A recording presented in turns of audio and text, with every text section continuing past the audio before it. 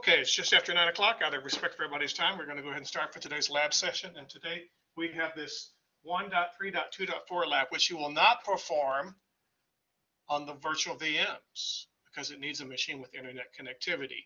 So you guys that are here in the classroom, you'll use the normal Windows 10 desktop that you logged into. Uh, you people that are doing the lab from home, you can't do this on Packet Tracer because Packet Tracer is not connected to the internet. So just use your normal, it's probably a Windows desktop of some sort. Uh, if you're running a Macintosh or a Unix or a Linux machine, the spelling of one of the commands will differ slightly, and we'll cover that right away. Okay, so uh, this lab can be found and printed in the student lab printout section. It's the 1.3.2.41 tracing internet connectivity. So a lot of this lab is going to be using the command line prompt. To get the cut to the command line, um, you can click on start, start programs, accessories, command prompt, something like that. Or you can simply press the Windows key and touch the letter R and type CMD, and that will pop up a command prompt for you. Or you can search for the word command or CMD, and that will pop that up for you. In Windows, there's seven ways of doing everything. Okay, let me clear my screen. Okay, so on the first page, it talks about this difference of the tracer route command. If you're using a Unix machine or a Linux machine or a Macintosh machine, which is really Unix underneath, or you're working on a Cisco device like a Cisco router or switch, which we're going to do later in the course, you would type, type the command trace route, spell out the whole thing, trace route. Hi, come in, please have a seat. We're taping, we're going. Uh, on Windows, he abbreviates it to trace route that first spelling. So on these machines in here, you'll use that. Oops. I'm looking at the left, trace route. So you'll type tra trace T R A C E R T, and then what, we, what you're supposed, supposed to be able to go to. So we're going to use trace route and ping in this. In step one, near the bottom third of page one, we're going to determine network connectivity to a destination host. Now, I spoke a little bit in the lecture section about the difference between ping and trace route. Ping is a pass fail of the whole network path. Either it works or it doesn't work. And there could be 10 routers between you and the device you're trying to ping. If any one of these has any connectivity problems whatsoever, the ping would fail. You would get that no reply at all. Sounds like a Genesis song. And it wouldn't work.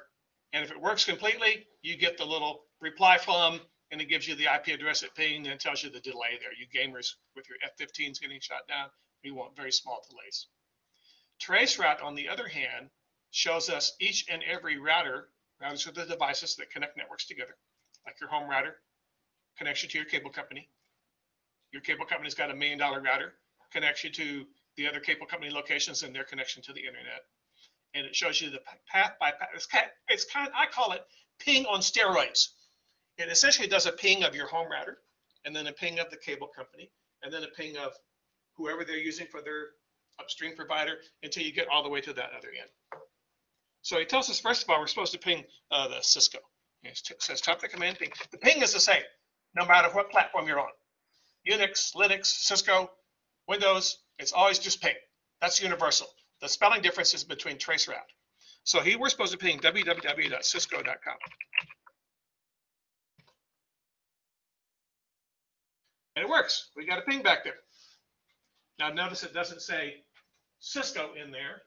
It says DSCA. Cisco uses a content provider, uses Akamai as a content provider.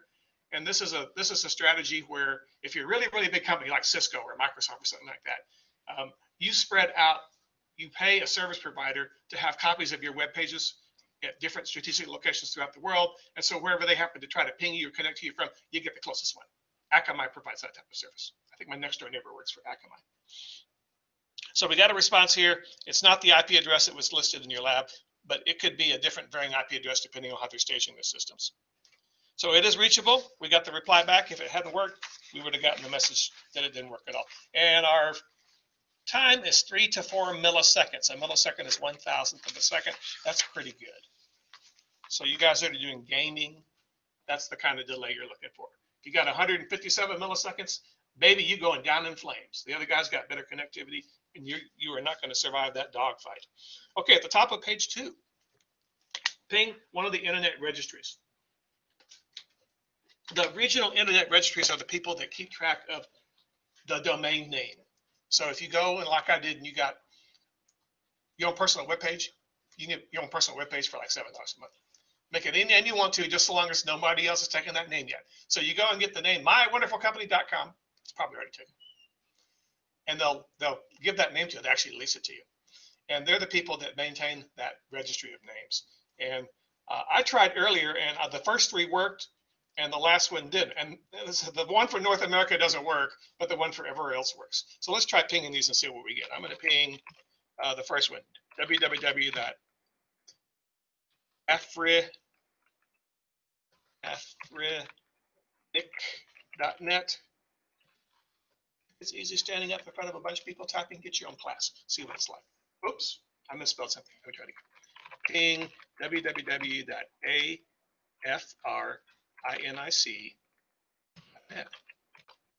Okay, I must have misspelled it. That worked. So we're pinging the people that that assign domain names to the continent of Africa. That's what Afrinic does. Let's try the second one. Ping apnic.net. That works. The third one should work. It did before. www.lacnic.net. Oh, I, I put a period, a comma instead of a period. Ping www.lacnic.net. That works fine. And then ARIN didn't work before. Let's see if it's working today. It may have been slightly down. Ping www.arin. Uh, it's not working. It's not working today. Now, I think I mentioned this. Ping and Traceroute are valuable tools for what we used to call the black hats, the malicious intruders. We can't call them that anymore because it would make them feel bad.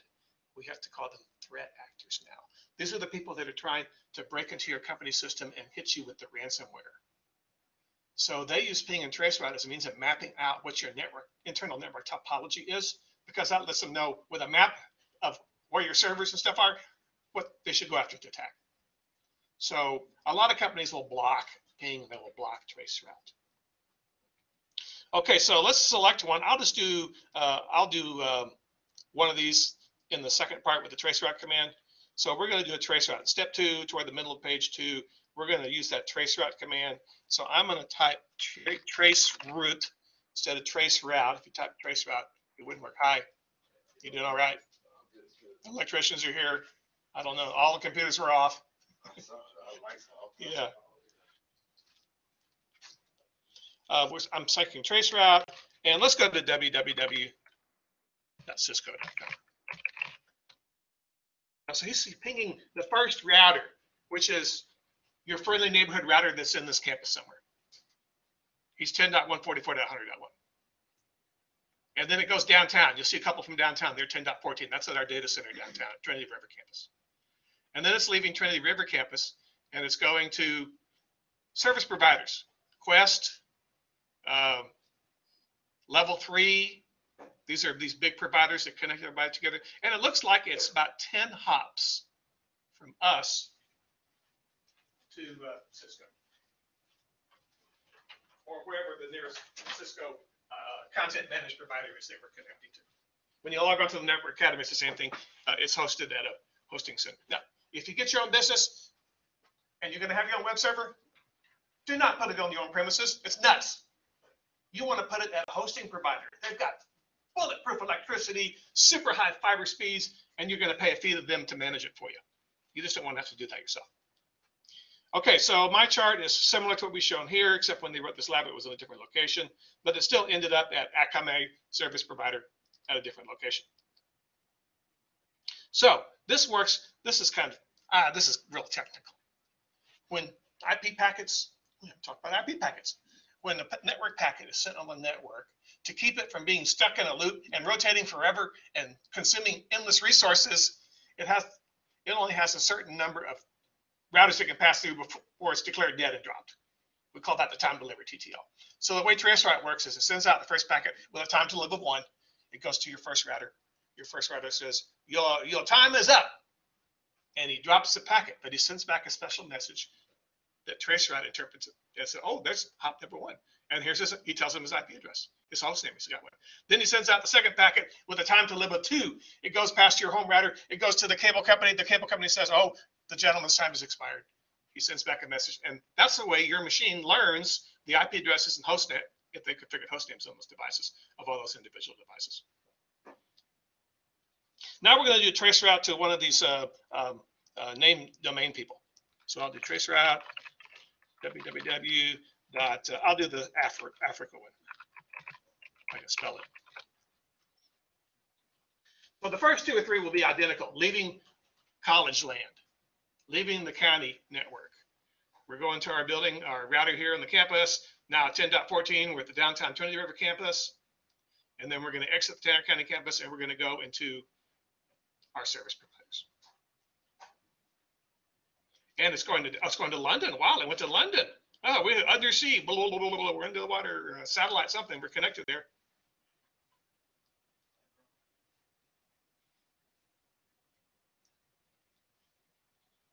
And look at how those delay times are increasing.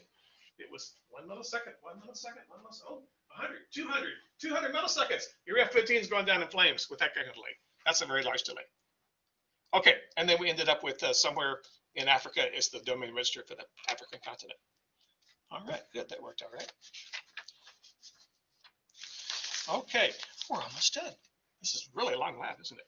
So look, let's look at this WHOIS tool, uh, which I think I've got it.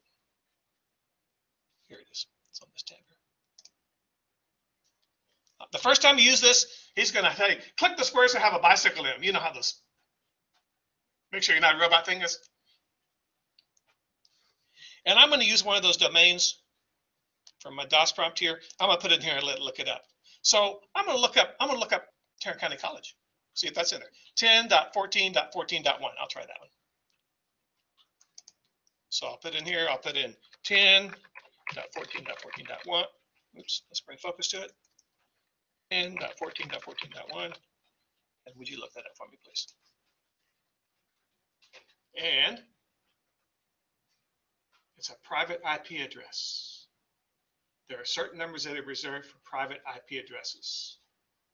Now, let's go to one of the other ones that's our public and see what that tells us about it.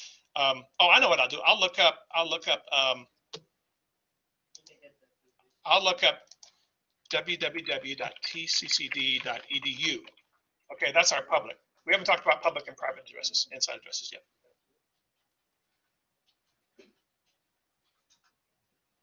He's going to do the, okay, there we go. Look, there, w, uh, webadvisor.tccd.edu is our domain name. We own it. The college paid for it. Well, you taxpayers paid for it. And so you can type that from anywhere in the world and it'll route it to our data center downtown We'll connect to it. So it's owned by Tarrant County College District. We used to be tccd.net at about 6,965 days old. About 12 years ago, we stopped using .net and we got the, it's hard to get an edu domain name. You have to be a real college. Okay, anybody can get a .net.